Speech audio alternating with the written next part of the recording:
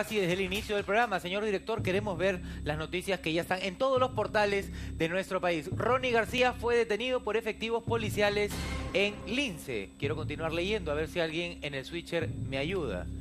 Esta es una noticia de último minuto, ha sido en las horas de la mañana. Ahí está, Ronnie García fue detenido por agredir a Lady Guillén, el cantante de cumbia. Tenía una orden de captura por golpear a su expareja. La policía lo detuvo en el distrito de Lince. Y no solamente, eh, como vamos a mencionar ahora, es el tema de violencia familiar. Ahora les contamos más. Dice acá, el intérprete de cumbia Ronnie García fue detenido en Lince, dice por la policía durante la mañana del jueves, hoy. Contra él pesaba una orden de detención judicial por agredir físicamente a su expareja, la bailarina Lady Guillén. Ha informado este portal RPP y obviamente en breve nosotros también tendremos más detalles. Y lo que les comentaba es que los cargos no solamente son violencia familiar, son lesiones graves que ustedes vieron. Fuimos todos testigos de lo que le hizo Que era lo este que más estaba cuestionado, porque decía cómo van a decir que son lesiones leves cuando todo el No. país vio cómo quedó, ¿no? No, y no fue una vez, fueron varias veces. Secuestro, coacción y encubrimiento real, dice, no sé, en fin, violencia familiar. El chico yo creo que ya no va a salir. Yo, esto se va directamente al penal, ¿no? Por ahora eh, se vamos a dar más detalles de cómo ha sido eh, el encuentro de la policía, dónde fue que lo han eh, a él, eh, ¿cuál sería la palabra? Cuando lo Capturado, capturan. lo han capturado Exacto. en Lince. Bueno, me imagino que él debe vivir por ahí. No sé si alguien aquí me ayuda. ¿Tú sabes este sabes dónde lo han capturado?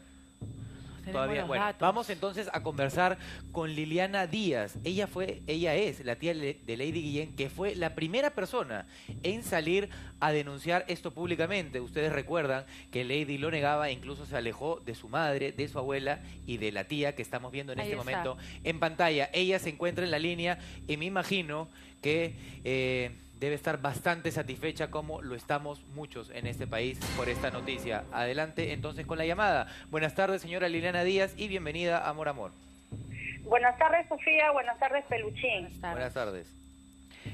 ¿Cómo se siente, señora, con esta noticia? Nosotros también hemos quedado un poco, eh, nada, de una pieza porque dijimos, por fin se hace justicia.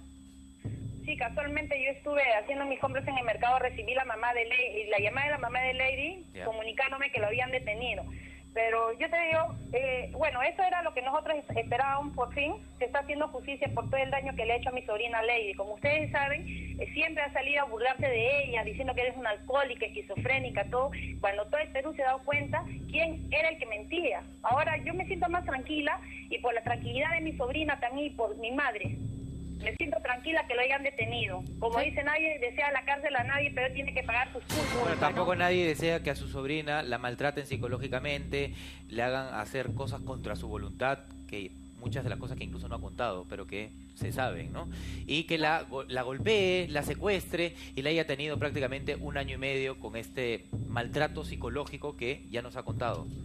O sea que Eh. si él se va preso, digamos que lo único que está haciendo es pagar culpa. su Pero pena. la pregunta es, ¿va a quedar solamente detenido? ¿Usted cree que pueda con su abogado él salir y librarse de esta? ¿O quizás va a ser una cosa más dura? ¿Qué dice usted? Yo creo, yo creo en la justicia de mi, de mi país y pienso que él se va a ir a prisión.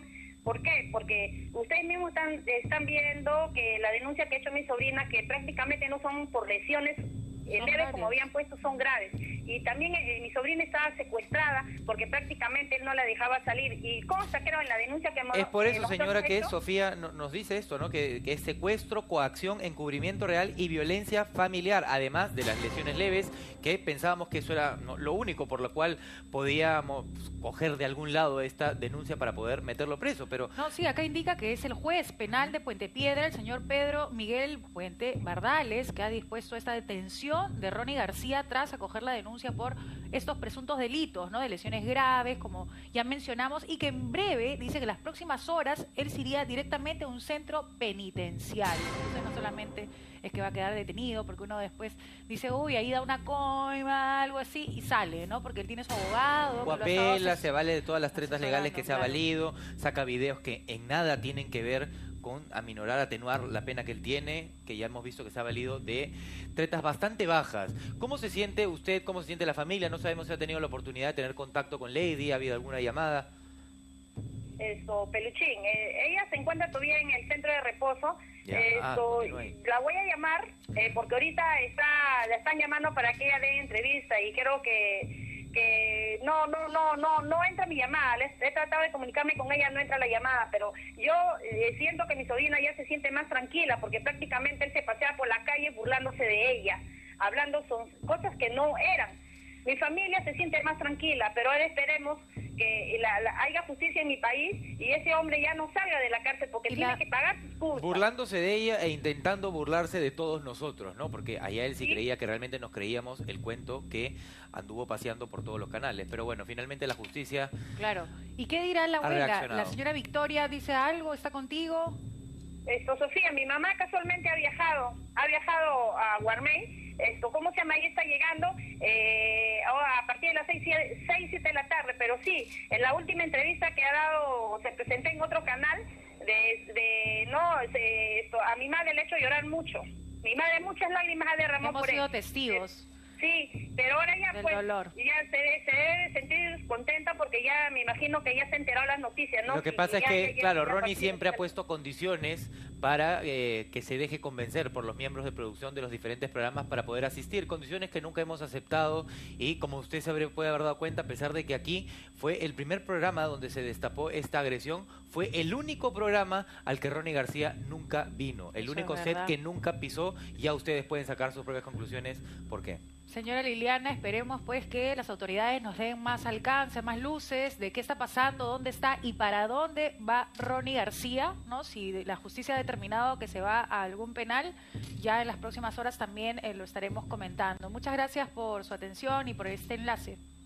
Eso, gracias Sofía, gracias Peluchín, que Dios los bendiga. Gracias. A usted también, señora, y ojalá que todo continúe por este nuevo rumbo que ya tomó la historia. Muchísimas gracias y que la paz continúe en su familia, señora. Ahora sí, vamos a...